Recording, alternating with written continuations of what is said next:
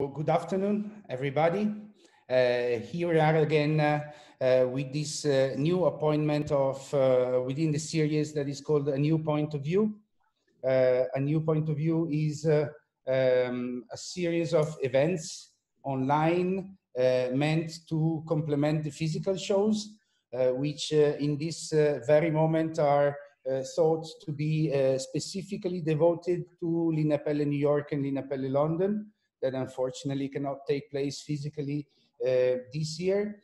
Uh, it's a, a, a, new strategy of uh, digital meeting within um, the, the, concept of digital fairs. We are now in week two uh, that uh, uh, and the event is going to go on for two more weeks until August 7. So um, today I have the great pleasure to speak about uh, a topic that is interesting, I think, um, everybody in, um, in, uh, in, our, in our world, that is uh, the post-COVID-19 sales processes. And uh, I have the great pleasure to host, uh, I would say, an old friend, if I may say, that is uh, Jordana Guimarães. my name, of course, is Federico Brugnoli. I'm the curator of the Innovation Square at Lineapelle. Uh, the Innovation Square took place already two times in 2018 and 2019, and we had the pleasure to have uh, Jordana uh, present at the Innovation Square as well. Um, Jordana is the co-founder of uh, fashinnovation.nyc. Uh, I will have uh, her introducing herself briefly uh, before the start of our conversation. So just one uh, more points, uh, it is very important to remind all of you that uh, a new point of view is also the name of the event that will take place physically this time uh, on 22nd and 23rd of September 2020 in Milano. It is uh, also a post-COVID-19 uh, event but uh, the organizers are telling me that um, there is uh, already a, a, great response from the market. So the invitation is uh, for those who will be able to do to do so to attend it. Uh, so without uh, further ado, I would like to um, uh, introduce you Jordana. Actually, Jordana, I would like you to introduce yourself, uh, because I think the audience is uh, um, is eager to understand uh, what your background is and why you are here to speak with us and why we have invited you. Yeah.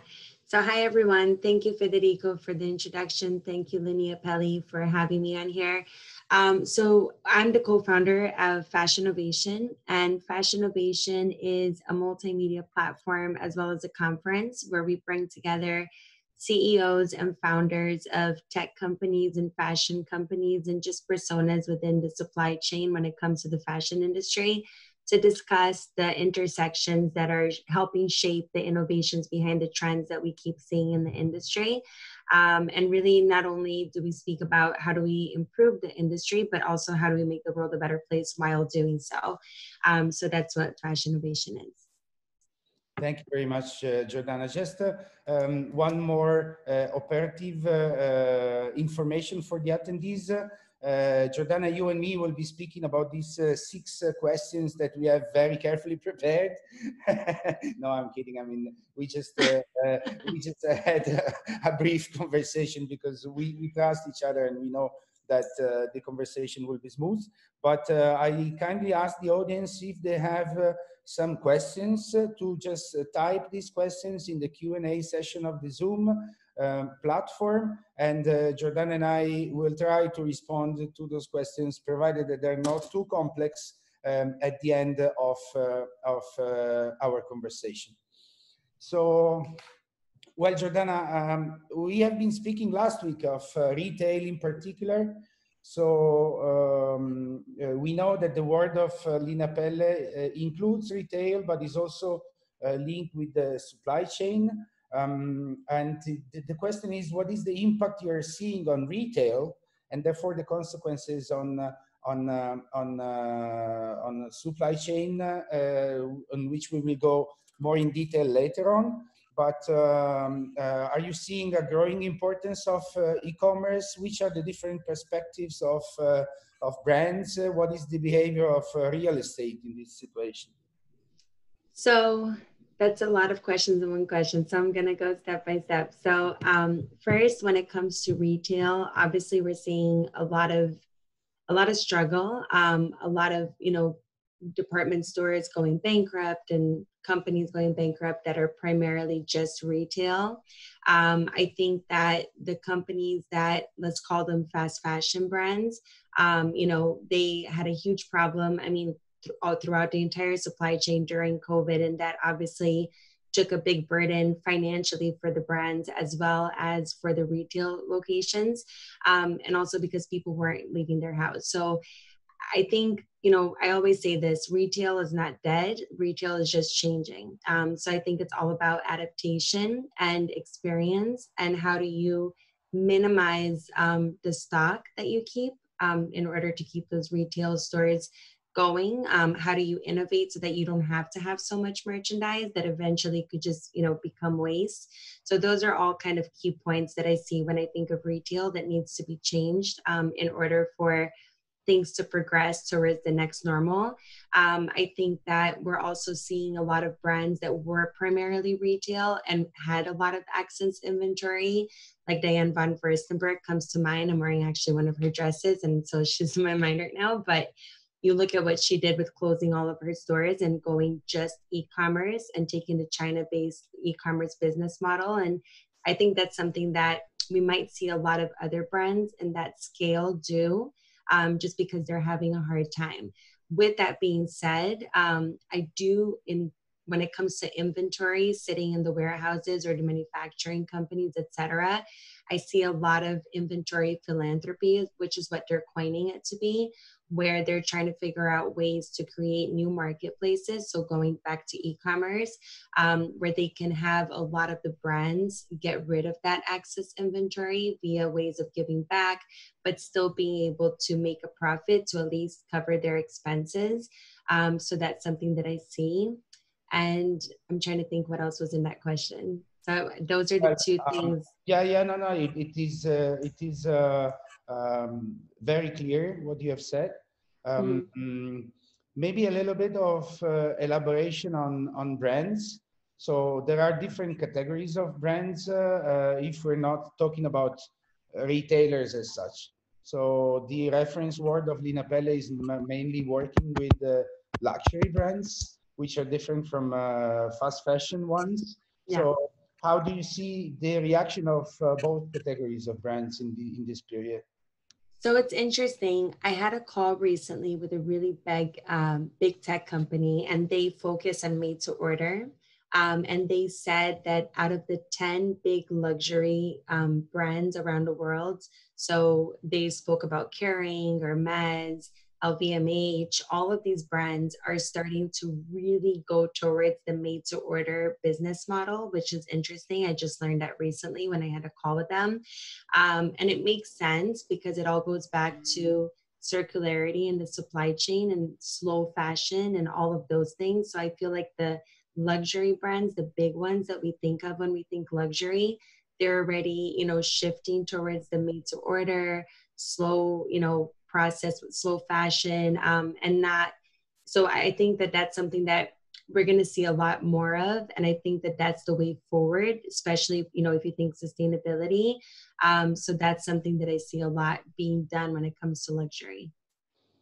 Um, there are so many interesting things that are coming up um, but uh, uh, regarding this a question that was not prepared jordana so i'm, I'm not going to be bad but um, uh, when we speak about made to order, uh, when we speak about uh, uh this shift of uh, model of brands, uh, are we?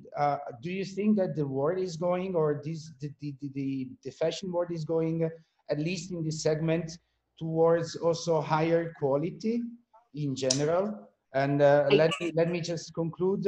Um, if you remember, we had a conversation in the past uh, and the topic was uh, from mass production to quality and care and durability of products. Is this something that is increasing in this moment?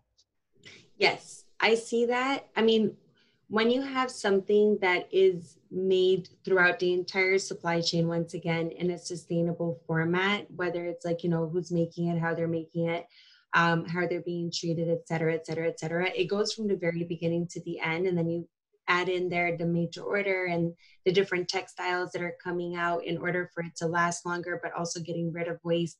I think the reason why sustainability personally hasn't been something that got adopted by the masses is because one, people didn't understand sustainability. It was a big term for a lot of people, which I think now we're defining it more and more as we kind of compact the supply chain. But I also think that too, it was too expensive for a lot of people because it makes sense there wasn't enough demand for it. But I think that now that we're seeing all of the brands really know that they have to lead in that direction in order to survive, in order to be able to be around for a while, long, for a lot longer. I think that now the demand is going to get higher, so the price is going to go down, and I think the quality is going to get higher. So I do see that happening. Obviously, it's going to take a while. It's not something that's going to happen overnight.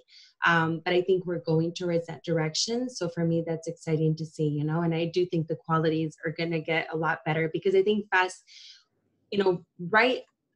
So like right after COVID, so let's say post COVID, obviously people are going to be suffering financially. So do I see them lining up at Zara and H&M and those stores to shop? Yes but at the same time i think that a lot of people that are going to be struggling financially maybe they'll think twice about buying 20 of something and just buy one thing that's going to last a very long time.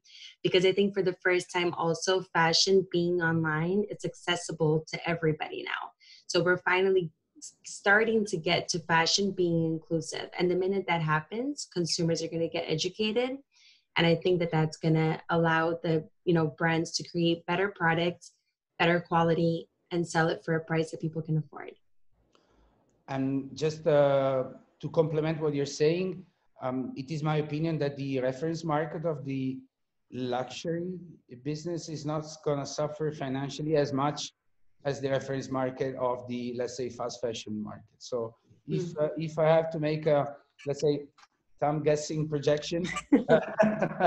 it's uh, it's that probably in in uh, in the midterm, uh, by midterm we mean months in this case.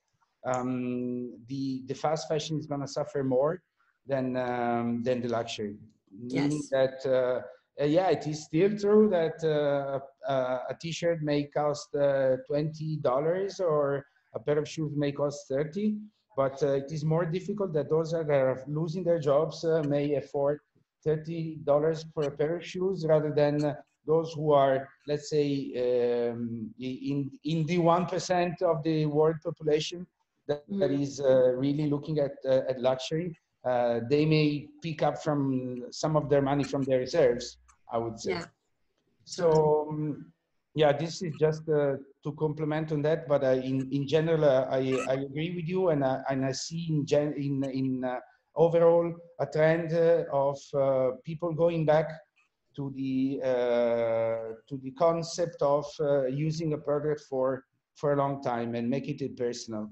Yeah. Um, we had a presentation last week in which on sustainability actually in which I was showing that for the first time in history there were a pair there was a there is a pair of shoes uh, let's say leather shoes uh, on the market that costs less than a big mac menu.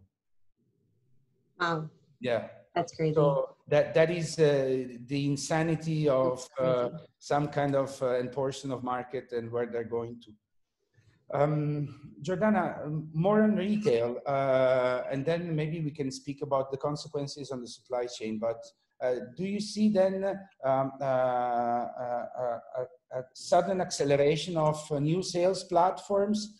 We have a, a or new sales apps linked oh, yeah. to commerce. We have a common friend, Jacqueline, that is developing a, a very interesting app that is guiding consumers toward e-commerce. So I will let you answer this question, and maybe I will elaborate a little bit on uh, which are the consequences on platforms for the provision of materials and components for these e-commerce platforms? Yeah, no, so I do. So it's interesting. Um, I've had a few calls, and I keep going back to the calls I've had because I have people that are calling me with all of these innovations, and this is how I'm seeing kind of what people are thinking. Um, so, for example, I spoke to a phenomenal woman. Um, she was actually the senior vice president at Alexander Wang for a long time, and then she left and started an app just late last year um, to put everything when it comes to the wholesale omni buyers. She put the entire thing, the entire process on an app so that you just use this one app and everything you need to know about the brand, the collection, what's available to purchase, is on the app. I saw the same thing when it comes to digitalization of e-commerce and brands. Um, there's you know people that are really using apps now and technologies to be able to do the whole offline online digitalization of brands. Um, so i'm seeing a lot of that. Um, i'm also seeing just a lot of platforms when it comes you mentioned briefly like materials and manufacturing but there are a lot of platforms that already have been in existence for a while but i think they're coming more to play now when you can do the entire thing online um, when it comes to choosing the right manufacturer to choosing the right textiles to making sure that it's sustainable to have the whole process done for you just in one platform. So all of that i think is we're seeing a lot of everything going online. Um, and again i always go back to online offline but i do think that there's there's a big sprint towards all of these technologies to assist all of that being done. Um, so more and more i'm seeing them come to play in addition to the ones that already exist. Mm-hmm. So those are the things I see. I would say digitalization, um, online platforms for wholesale purchases, online platforms for manufacturing choices, textiles, everything. There's so many apps that are being developed now where you can do the entire process from A to Z in the supply chain on using just the technology. So I do see a lot of that. Um, isn't it a danger, Jordana, that there are so many platforms being developed in parallel? So at yeah. the end of the day, we know that we know that the the the big game and the, and the big question is how to standardize processes, no? Um, yeah. Uh, so if if there is a, a, an app that is speaking a language and then another app that is speaking another language, then how how are supply chains going to be organized? Uh, who's going to win this battle? Yeah, and I yeah, that's a good question. I don't really have even an answer no, no, to that because it is a problem. Open question. No, for sure. Yeah, I agree. No, I totally agree. And I also think that with so many people competing to be in the same space because of the surge that is like has escalated all of a sudden with people needing these services at their fingertips it is something that's going to be very i think it, it, can get really messy if people don't really start to kind of compact everything into one thing that can be almost like universal yes. um yeah I mean, uh, uh, we have the parallel uh, in if if someone is in an Android system or in an Apple system, but they are two players, right? And here yeah. we're talking about a multitude of players, everyone having his own language provision, uh, digital uh, uh, digitalization platforms, and so on and so forth. So. Yeah. Um, probably a huge effort on standardization would be required uh, in the near future. Yeah. if, if uh, this model will will will take over. So, um, um, uh, according to what we have said until now, let's focus a little bit on supply chains. So let's put ourselves in the in the in the shoes of uh, uh, of the suppliers of brands, uh, those who are producing materials, components, also those who are manufacturing parts of the product. Um, what do you think their most important innovation should be in terms of organizational model perhaps or new ways of proposing materials do you see also a, a possibility of digitalization of materials uh, in the fashion business in which uh, uh, yeah to the, the, the, the, visual aspect is important but also the feel and the smell yeah. as important yeah. um, do you see new ways of proposing style evolutions for example So I think that when it comes to textiles, so it's interesting. Um, I had a call yesterday. I go back to the calls. Um, the, are you familiar with Evolved by Nature? So yeah. Evolved by Nature, yeah. So I spoke with them yesterday, and they're doing some incredible things when it comes to chemicals for textiles and just different things that they're going to start, you know, doing, especially post COVID, when it comes to just making sure that everything is protected within that textile or even clean beauty you know just chemicals chemicals but good chemicals that can actually enhance the productivity and what the textile does. Um, and that goes i think of evolve by nature i think of Bolt Threads i think of Evrnu. There's a lot of companies that are really using you know different I guess, scientific, and this is out of my realm. This is more you, yeah. but I know that this is being done a lot. Um, I also think, you know, when it comes to printing, like you said, it's good to touch, feel, smell of fabric. Um, but I do think that like the whole 3D um, printing um, is something that, you know, we're hearing a lot of. We're not seeing so much of it, I think, yet, but we're hearing a lot of it. Um, so I don't know if that's something that maybe the reason we're not seeing it is because there is something about that real textile. So that's something that's going to be interesting to see. Um, I think when it comes to manufacturing, again, my only worry with the manufacturing um, is that I really don't see, even if we have another 10 years of this happening, I don't see more than 10 years from now, people still manufacturing in the masses. I really do see a lot of, again, I'm going to go back to pre order, made to order, um, slow fashion, creating a few pieces at a time. So that's going to be an interesting shift to see like how exactly that's going to play out when it comes to the manufacturers and when it comes to all of the jobs and you know everything that that employs. So that's something interesting um, that I do see a big change coming soon, and it's already starting. Um, yeah, no, uh, I, I, have uh, I have a couple of hints uh, to to complement, and then uh, maybe you can uh, re-elaborate on on what what I'm saying. So I, I was just taking notes, uh, Jordana, when you were speaking. Now, minimize stock, made to order. Um, so this, I think that from the manufacturing point of view, this is the, the, the real shift and the real evolution in the organizational and business model so uh, we have companies uh, in the leather world uh, that is the main reference word for for uh, Lineapelle that have uh, organized their production plants with you know big machines that are meant to increase productivity but this also means big lots. And big lots means big stocks. And big stocks means uh, that the orders have to be big. But probably in in this way in this kind of scenario that we're de depicting, the, the average size of orders of material is going to be decreasing. Or um, for them is going to be important for the production uh, uh guys, it's going to be important to, to find a way to neutralize the semi-processed material as, as close as possible to the finished product. So that mm-hmm. uh, another real important parameter that is the lead time I mean, if you are speaking about made to order, someone has to has, has to have the stock. If yeah. the producer or the or the or the customer that is uh, the, the, say the consumer facing company, someone has to stock something. Yeah. So um, you know, the, the, idea that we are developing is that uh, it, it would be helpful to support companies to be able to um, neutralize products. Uh, I'm, I'm speaking about materials and then finish them in a very short period of time and then be able to deliver so that the made to order process is possible.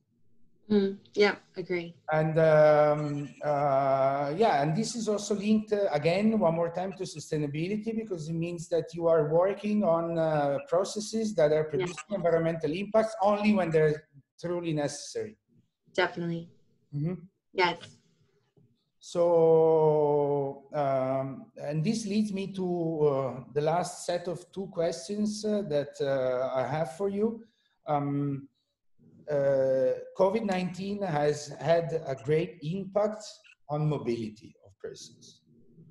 So, uh, uh, do you see this supporting a kind of deglobalization scenario in terms of production? are uh, local craftsmanships and, and local production concentrated in specific areas going to be an advantage, uh, going to have or to profit from an advantage to that. Just think about it. Uh, I am a big brand and I need a supply and I need to do a product development. And instead of uh, doing this product uh, in uh, Italy plus Romania plus China plus whatever, I do everything in one country where mobility is ensured, uh, the rules are all the same, and so on and so forth. So, is this like uh, mm, situation going to create a risk that uh, big customers would like to avoid by going back to local craftsmanship and local production models? Mm, part of me says some yes. It's tough. It's hard because a really so the bigger brands, the bigger companies, um, as much as that would be like it would be beautiful, right? For everybody to like support locally and do locally and all of that. I think that's really hard for a big brand to do um, a lot of times uh, because there isn't enough, even if the demand was there for that to happen, it, it, would need to create, we would need to start creating structure, right? There's a lot of local place, like places. I, sorry. I, I, I'm speaking about a local production system serving a global market yeah, I think yes. And I also think that it's not going to fully be that. I think a lot of it is going to go that route, but I still think that some people are going to have to go to other countries for certain things. I think there's I think there's always going to be a little bit of like, you know, a global aspect to the bigger brands and even to this, some small brands that, you know, some people need to go to separate different countries for what they're for the riches that they have that maybe locally you don't have. Does that make sense? Yes. So I think that like I think it will happen quite a bit, but I still think we're going to see global type of um, supply chains when it comes to the process and the manufacturing and the creation of things. But I think people will start to try to do as much as they can when it comes to local supply chains and when it comes to more, you know, craftsmanship, artisanal type work, etc. But I still think that there, I think there's going to be a mix. I think people are going to start to try to not have everything. Maybe someone that would do everything outsourcing. I think they're going to start to try to keep it local. Some of the things, but I don't think. I don't think it's feasible for a big. Uh, it's gonna if that's the case. I think it would take a while, but I think that it would it would be tough to do like within a. You know what I mean? Yeah, yeah, and and and I think, I'm trying to think no, process no, it. it does uh, um, very much have to do with the market segmentation. Yeah. So uh, if we're speaking about luxury or high-end products, uh, maybe made to measure, customized, or high quality materials, then yeah. Uh, this this can happen yeah. easily. Exactly. In, in some cases, it is already happening. I know. I think you know that most of the luxury leather goods are, are made in, in local production in industrial districts here in Italy, for example. So even if uh, they are serving the global market, they are locally manufactured, all of them is here. So one model is this, uh, focused on, uh, on uh, high-end uh, quality products using high-end quality materials.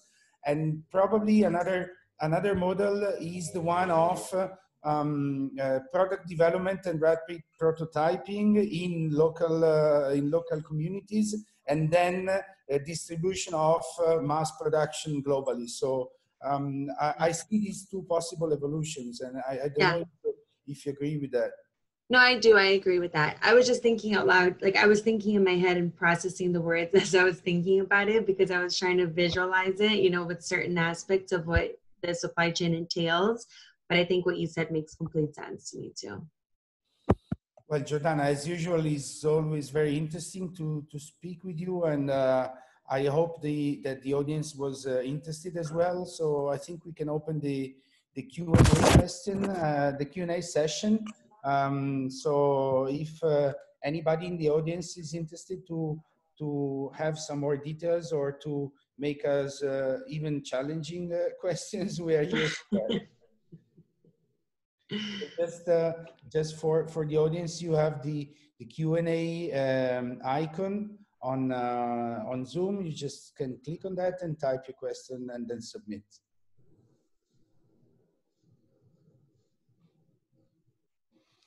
It's always uh, hard to start. We need we need uh, an icebreaker jordan and then uh, all the others will follow. That's I do I, I do have to say like it's interesting because a lot of what I end up knowing or learning is just through I kept saying call call call. But because we are a platform we get people from all over the world nowadays. Like I have about 10 calls a day with people just throwing innovations at us. And mm-hmm. through hearing what people are thinking you know you start to kind of see a pattern. And it seems that a lot of people when it comes to what we spoke about with digitalization e-commerce retail manufacturing artisans like it, it's very much it's a lot of people talking about the same thing. So you start to kind of see kind of you know it, it's a it's a yeah. trend a lot of the things that I, we're seeing I, I totally agree with you. The point is that they, they speak about the same titles but with a different meaning. Yeah so exactly. That's the problem. For a retailer means something and digitalization for a producer means something else. Yeah. Um, it's many years that uh, we see the growing importance of uh, um, uh, shared design platforms uh, in which uh, a product can be co-designed uh, by different designers around the world. but this hasn't been deployed because it was too easy to travel. And then maybe yeah. these things are, are going to be changing pretty fast. Yeah. I do have a question for you since no one's putting a Q&A for you, Federico. Sustainability in your mind um, with everything happening, since a lot of people say that some people say sustainability will take a back seat post-COVID. Some people say sustainability will take a front seat post-COVID, immediately post-COVID. What are your thoughts? Um, as you know, Jordana, we are like a consulting boutique. We're a very small company. Uh, we have been able to work remotely and uh, uh, our systems allow us to, to work in smart working. We never had so many requests on sustainability, sustainability projects, in particular in the leather world, as we did in this last period. So um, uh, uh, we, we had an, an, interesting talk last week uh, here at the uh, Lineapelle Innovation Talks on sustainability we also see that the sustainability topics are growing in number after this COVID-19. So we're not just speaking only anymore about uh, human rights, labor condition, environmental protection, and so on and so forth, but we're also speaking about new, new keywords like su supply chain solidarity.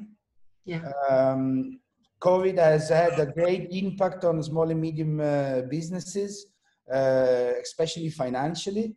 So we expressed uh, and we have identified and invented this term of supply chain solidarity so that uh, it, it has also to be taken into account that if you have a specific competence that is in a very nice company that is maybe 10 people but they have a tradition and a craftsmanship and everything that is important for your supply chain then maybe you as a big brand should support it even financially and pay in advance.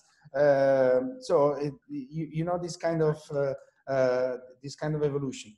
Um, uh, we think the sustainability will have a front seat in in the future, um, but with evolved means and with one very important need, Jordana, that is that we need to reduce the amount of information that are defining the term sustainability yeah. into one set of rules. Because sustainability is also efficiency. And if we're not efficient in managing sure. sustainability, then we're not sustainable by definition. Okay. It's true. I uh, love that. That that's great answer. Amazing. Uh, thank you. Oh well, well, there is the icebreaker. So from Malaysia, Jordana. So after COVID, we, where is the product manufacturer uh, still playing an important role? For, for example, their brand is Malaysian Leather Good, and um, uh, they think it is important for their product uh, uh to be manufactured in Italy uh, instead of, um, let's say, investing more uh, in in in communication. So um, do you think that, uh, for example, a Malaysian brand to keep the same quality should manufacture in a country, even if it's global, in a country that is known for uh, high quality? I mean, for me, the question is rather, the, the answer is rather obvious, but I would like to, to have your opinion on that. I, I that's what I was talking about before. I don't think that it's feasible to say that some places in the world will be able to localize everything because they'll be lacking some resources. So I think that my answer, I mean, I hope this is my opinion. I think that yes, like they should still create, you know, the goods in Italy or wherever it is. Like I think that if that is going to make the quality and a product better, mm-hmm. um, I I would say yes.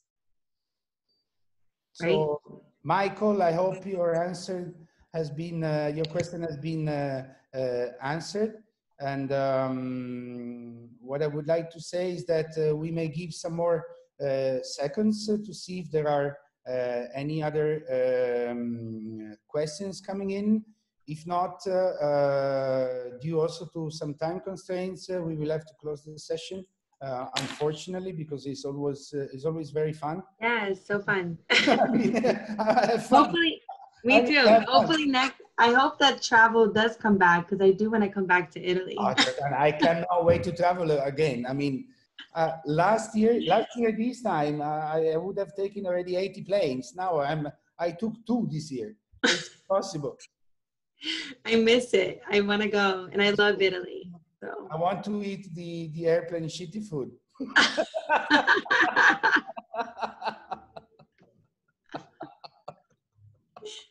okay, and with this we can conclude. so um, it's really, really, Jordana. Let me say, it's really always a pleasure to be with you. You too. Uh, I hope to to be in touch soon. Uh, yes. Again. And I, I would also like to uh, thank uh, all the audience of the Lineapelle Innovation Talks uh, and to um, the audience of Lineapelle in general. Um, and uh, we will see each other, not with you, Jordana, but with someone who's going to be much boring, much more boring with you. because we will be speaking about industrial automation and robotics as a, a, a new um, uh, model for enhancing production in, uh, in particular in the leather business um, and that is going to be next uh, uh, next uh, um, next week 29 so Jordana, really, thank you again. And uh, it was such a pleasure. All of you, and uh, I hope you have a, a wonderful rest uh, of the day. Thank you very much. Thank again. you so much. Thank you, everybody. Thank you. Bye.